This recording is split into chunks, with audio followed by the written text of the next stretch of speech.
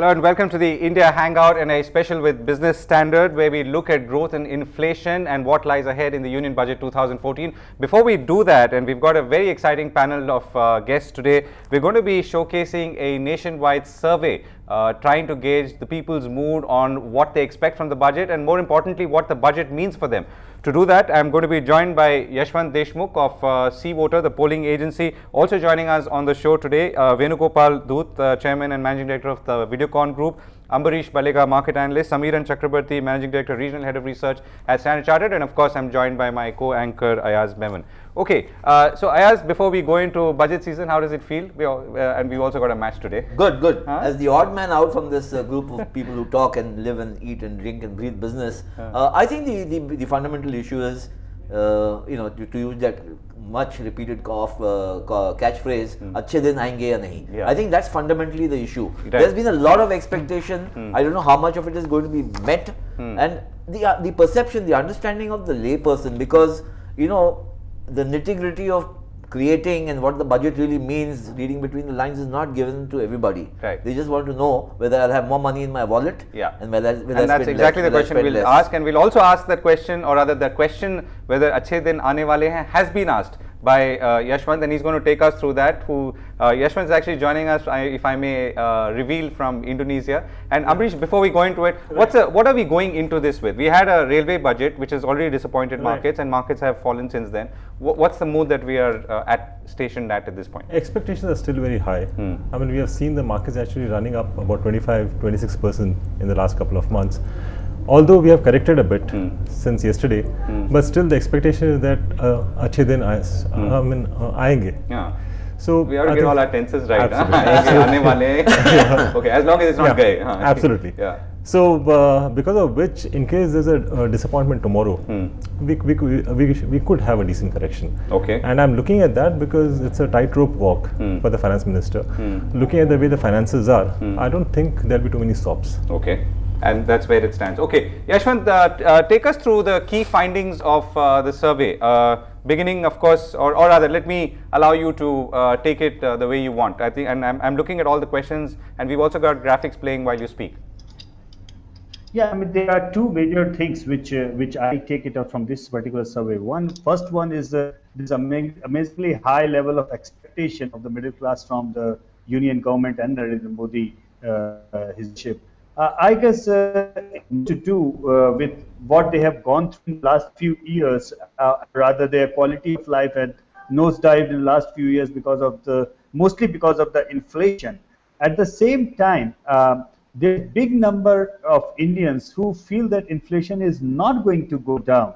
Uh, almost uh, 30% of them, they do feel that it is going to go down, and which uh, approximately collaborates with the with the number of votes that the BJP had polled, but extremely high level, unrealistic high level of expectations, I would say, um, uh, as far as uh, Narendra Modi government is concerned. So it's a tightrope because uh, uh, we are dealing, and, and I'm glad that we have this uh, wonderful panel along with us because we are dealing on one hand market expectation, and another hand uh, with the consumer expectation. These are two different things, uh, I believe, but they are very much interlinked uh, um, uh, at the end of the day. So, uh, as far as the Indian middle class is concerned, unrealistically high level of expectation with the Modi government, and especially uh, uh, if they can tackle uh, the issue of personal taxation, because we have seen this question for many years, Govind, and you, you remember that we started this series when you were heading Bloomberg uh, uh, of asking the middle class how much is good enough uh, for a family of four to have a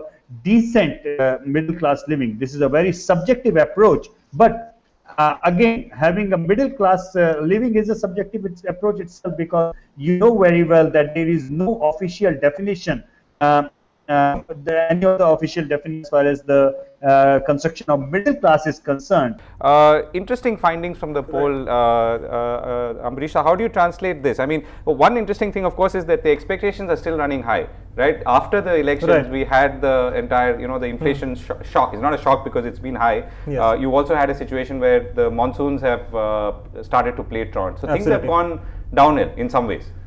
Uh, see, the first thing is the expectation that you'll have more money in your pocket Hmm. through lower taxes. I don't, I don't think that is possible. Okay. Looking at the way the finances are. Hmm. What I would possibly look for is how does he manage the supply side issue? Mm-hmm. Because today, I don't think food grain production Hmm. is not an issue. Food, grain, food grain production is there. Hmm. Today, we have a issue with onion prices. Mm-hmm. Onion production is at high, Hmm. but still there is not enough in the market and because of which the prices are going up. Right, right. The issue is supply side, hmm. and this is one of the items in the manifesto which they hmm. have said that they'll manage the supply side issue, hmm. and because of which the inflation will will, will come will uh, uh, uh, come under control. I would like to see as to how much of allocation he does for this. Mm-hmm. Fine, intent could be there, but can he execute it or not? Because most of this is state subject, and they don't control all the states. Correct. So this is one big question mark which is there, Hmm. which I'll see as to how he manages that through the budget. And can it be managed? I mean, that's the larger That's- question as well, right? that's I the mean, whatever question. you say, Yes. at the end of the day, what it'll only Ab- the absolutely. So, so, so, so possibly tomorrow we could see the intent. Hmm. Execution, I think we'll have to see it over the next couple of months. Right. I think the biggest challenge, Govind, is uh, how much of it is bluster and how much of it is possible. I think that's mm-hmm. really the issue. What you're saying, Right. how, what can be executed mm-hmm. or not. The promises that have been made have been extraordinary, and they've raised actually exponentially the expectations. Very, very now, the intent may be good, but also you need the expertise to to Right. you know execute and within a certain time frame. Mm-hmm. Because it's not an open-ended scheme. Yeah. You have to deliver within a short time. And Right. the biggest problem with people is that disillusionment or this disenchantment could be quite, quite fast. sets in very rapidly. Absolutely. And therefore, we are living in the age of social media and instant gratification. If it doesn't happen quick enough, everybody, the disillusionment will be far more severe Right. than the enchantment was. Right. So let's take. I'll take some. Uh, you know, some comments that have come in. So there's one which says that we need spending to revive the economy. Says uh, Ram. Uh, there's another one which says that. Uh, um, sir, forget saving. We are losing our past savings. It's negative growth. Right. So maybe that's where the stock markets can play some role. Uh, uh, there's also another uh, comment on that's true. People take home loans to evade interest deductions. Uh, Amrish, let's let's come back to what the markets, or rather, if you were to look more specifically now, which part of the markets could be looking good, and which parts would still be concerned? Now, if I'm looking at sectors and stocks. Uh, sectors and stocks, uh, sector wise, I think the high beta ones are vulnerable right now. Mm-hmm. Okay. Because they are the ones which have shot up quite a lot. Hmm. And there's a huge expectation regarding those sectors from Hmm. the budget, especially uh, your infra, capital goods space. So that is where possibly you could have a correction. Okay. Whereas the ones uh, which have held on, Hmm. uh, the so-called pharma, FMCG, Hmm. and IT space, I think that is where I don't think there'll be too much of a downside as such, and Hmm. that could be a place to hide. Okay, so here's another question uh, which I don't know if Ambrish you want to try uh, answering. Uh, on Twitter, Ajay Markin said that BJP came to power over dismal economic performance, but it seems that the new economic survey does not show such a dismal pic or a picture. What do you feel? Uh, it is improving, no doubt. Yeah. And yes, I suppose UPA did their job Hmm. in the last one year. Yeah. Or the last over to use uh, Ayaz. Yeah, yeah, The slog yeah. yeah. Hmm. So I think that should pay off to a certain extent. But I think the good work should be carried on Hmm. by the NDA as promised by them. If that works out, yes, I suppose Achhe din we should see after the next 20 24 months. Okay. Nothing's, nothing would happen overnight. Yeah. And I don't expect Yeah, that. and. I think that's quite clear. So, Yes, so is that a kind of a time frame threshold that you assign, say 20, 24 months? Uh, you know, because yeah. But i- is, is the, I mean, is the see, patience see, of the people see, the- I mean, that's, last that that's, long? that's the th- uh, uh, threshold which we are talking about. Hmm. But does the market have that sort of a patience? I don't think so. They need instant gratification. Right. And for that, they'll be looking at the budget for instant gratification. If that does not happen, Hmm. you have a crack. And that crack could be anywhere. Right. I mean, 6% to 8%. Ah, see, the key concern is going to be uh, for development. Hmm. You need to spend. Hmm. And where does the government get the money to spend? Mm-hmm. So my feeling is that the only way government can, I mean, uh, uh, I mean, get people to spend Hmm. is by giving uh, tax SOPs. Okay. For example, the major area which which which require funds is infrastructure. Hmm. If they provide SOPs Hmm. for investing into infra projects, Mhm. I suppose you'll you'll have money flowing in. Hmm. It's not the question that people don't have money. So you're saying that it's it's going to come from SOPs? I mean, or the expectation is that it, It has come to be SOPs. Okay. Because I mean, otherwise, why should I be investing in infra bonds if I'm not getting SOPs? Hmm. I'm not expecting tax cuts, Mm-hmm. But when I'm going to be investing, I think I should get tax SOPs to invest. I Hmm. Okay. think And, and to what extent can that actually trigger some serious flows into the market? that can actually uh, trigger serious flows, no doubt, because people are sitting on liquidity. Hmm. It is not that people don't have money, but that intention to write out a check was not there because you didn't know as to what your returns would be. Hmm. So at least now, if there's going to be clarity going ahead that Mm-hmm. things are improving, Hmm. you will have people investing, no doubt. Okay. Uh, Yashwant, I understand that you're back with us. Uh, ca- uh, you know, I, I was still trying to understand the demographic and uh, geographic uh, breakup of your uh, sample for this uh, this survey that we've done. Uh, you're also you were also trying to establish through this survey uh, how much income do people really want, and that's uh, as I understood also was a surprise to you in some ways. Can you tell us why? The answer rather. That's a surprise to us in a big way. Uh, uh, for, for a reason that you know uh, we in the urban middle class sector especially living in the metropolitans we are used to see uh, uh, see the high grades and we used to feel okay this much is required but there are people around who have reported as low as uh, 1500 or 2000 rupees a month as their requirement to live with the four.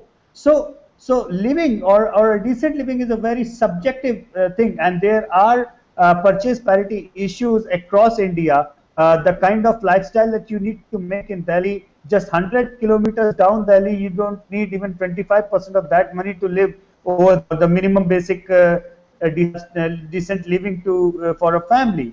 So it was very hard. It is always very humbling to know what the common people and, their expectation is very low as far as their income is. But this middle class, which is ballooning now, almost uh, 30% of India, as we know, is uh, can be figured out to be a ranging middle class, and uh, and approximately we have seen in the last couple of years we are more coming moreover somewhere between 30 to 35,000 rupees a month kind of uh, income. Feel is is minimum that they need to to raise a four with a with a with a with a relatively uh, decent middle class living. Uh, Samiran, uh, your sense on what your uh, house view is as you're going into the budget uh, with in terms of uh, expectations and likely pronouncements? Well, we think that uh, fiscal consolidation will be uh, one of the pillars of the budget, and that's why Think that deviation from the interim budget target of 4.1% of GDP would be minimal. Uh, to achieve that, our sense is that the finance minister will announce a more reasonable tax revenue growth target of somewhere in the range of 15 to 17 percent. Uh, compared to the 21% which is there in the interim budget. Uh, but at the same time, he does not have too much leeway in increasing the expenditure, uh, where it's likely to be a 10 to 12% growth in expenditure. So the shortfall is going to be bridged uh, by a very large uh, component of uh, divestment spending. We think that it could be in the range of about 75, 80,000 crore. Uh, overall, beyond the numbers, I think the market is looking for a credible plan of fiscal consolidation going forward, as well as measures to improve the tax revenue, measures to reduce the subsidy uh, significantly, particularly on the fuel and fertilizer subsidy. Uh, yes, not everything can be announced in one budget, but the big challenge for this budget is going to be balancing between fiscal consolidation and uh, spurring growth. Uh, that's the fine line that the finance minister will have to walk. Right. So, uh, and, and I guess it also seems that the uh, the solutions would be somewhat traditional and maybe no magic can or magical moves can be expected. Wh- what's your sense on inflation overall, uh, Samiran? I mean, you know, uh, I mean, because we started out by saying that growth and inflation are the two twin challenges uh, in this budget and in, in this really in, in, in this entire period that we are in. Uh, how do you think that could be better addressed, if at all? Uh, yes, uh, we are having very high uh, inflation rates for almost three years now, and this is happening uh, regardless of uh, substantial increase in agricultural production. uh, food inflation seems to be extremely sticky. So I don't think the budget will have any magic bullets for inflation. The inflation fighting, as we've seen, has started from addressing the issue of the gap between the wholesale price and the retail price, which is often more than 100%. I think that's the inefficiency which needs to be addressed. And for that, you need to, the, what the budget can do is incentivize uh, investment into storage and distribution. Um, but beyond that, one needs to go and change the APMC Act, uh, the issue of mandi taxes, the issue of hoarding.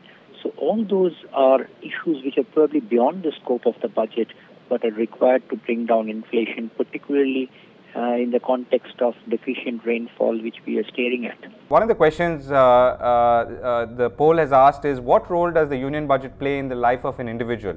And do you take decisions anymore keeping uh, the union budget in mind? Uh, and the answer is interesting that 60, I mean, 60% plus of respondents say that the union budget has a role to play. Uh, and uh, so therefore it, people feel that it affects their lives, it affects their consumption or their purchasing power and so on. Well, uh, in comparison to last year or a couple of years, this response has gone up. This is uh, actually surprising for me. And uh, it has gone up largely because of the expectation, I would, uh, that they feel that the government is going to do something which is going to impact them in a way that the inflation is going to come down or the taxation would be relieved, uh, relieved a, a, bit further. Uh, in the last few years, this number really going down in a steep way because somehow people were disillusioned and, uh, and feeling that come what may, whatever union government does, it is only going to uh, end up in something bad for them, end up in something negative for them, and there is life is going to get uh, uh, in a much worse so, uh, so there, there was a there was a sense of um, sense of uh, uh, dis, uh, disenchantment from this union budget and this exercise that uh, nothing really is going to come out of it, and all of this new government in, and all of a sudden this high level of expectation, and all of a sudden we are looking at this big number, they looking at it and feeling something positive can come out of it, and uh, and if it doesn't, then then I, I must warn that the Achhe Din concept uh, could very well retaliate as well. Right. Okay. Uh, let me. I think we've uh, managed to get Mr. Venugopal Dhoot back. Uh, Mr. Dhoot, I was asking you about how you're seeing this environment at this point with all these sort of high expectations. Is it translating into similar expectations and as high aspirations on the consumer side? Consumer are expecting a lot from the budget. The basic is that consumer has been given a promise by the government, this government, new government, that inflation will go down. So consumer want that how the inflation will go down and how the things will improve in time to come because the price rise is very, very high. Second thing, consumer wants to know whether there will be uh, at lower income level where will be the increase increase in tax or what. Because increase in tax people don't like they say that rich people are there, they, they, you can tax rich people but don't tax us. This is the first budget this government is giving. The consumer may not expect a lot, but in a five years plan, consumer now they are learned people. They want to know also in five years how government will eradicate this poverty line, poverty also, and how government will conquer the rising rising prices. These two things consumer will definitely like to know. Further, consumer also would like to have the reduction in taxes and also GST implementation and um, what I say fiscal consolidation, fiscal uh, by bringing fiscal deficit down and also revenue uh, revenue also in control revenue to increase and expenditure uh, to, to go down. That means revenue deficit should not be there and today it has been mentioned that FRBM Act will also be there. Today's FRBM Act, there is no compulsory that the they should government should follow it.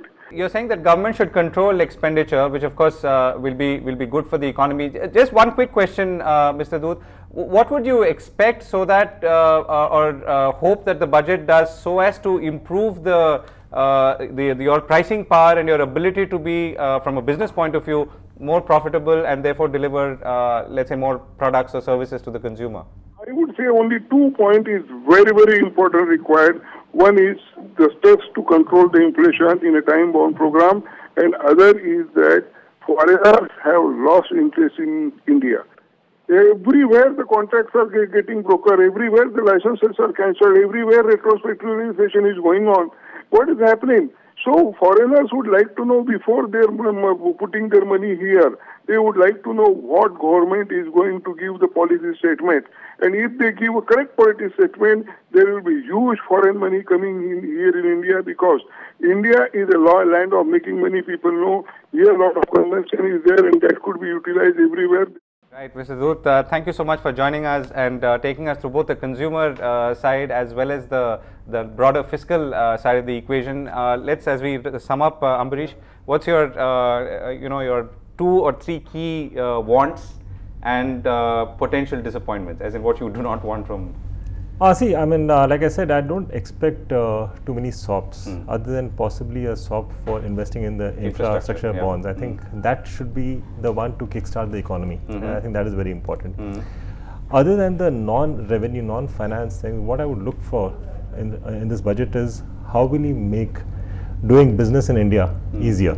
I think that's what most of the businessmen want. Yeah, and that Whether sort of goes to absolutely. what Mr. Dhoot was saying. Absolutely, well. okay. absolutely. That's something which is uh, important.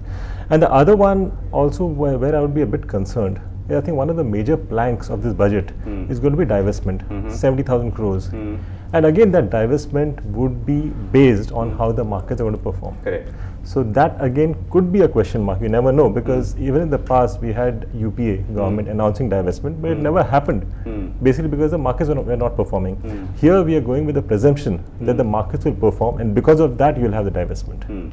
Right. So I think that, that could be a question mark. Yeah, and therefore we're obviously depending on the markets yes. holding way there. Uh, Yashwant, last word from you. Uh, you know, uh, what's the kind of takeaway that we should be most concerned about as we uh, go into budget and then the whole season beyond that? We certainly don't expect uh, to perform a cardiac surgery on a patient and ask the patient to run uh, for a 100 meter Olympic dash the next day. So, no, and as far as as usual is concerned, I don't have any faults from from this budget of this government. But there are a big number of people suffering from high inflation and, and, and finding it really difficult to make their ends meet. They do have high level of unrealistic expectation, and this government can do is to uh, is to uh, provide some personal taxation relief uh, and uh, and and then try to see if the uh, public has some extra money left with them in order to cope up with the inflation till the time they come up with a long term policy initiatives to not only to inflation but also to take the country on a long-term growth curve. That's exactly what's coming through the CVoter survey, exclusively shared uh, on this discussion as well. Ayaz.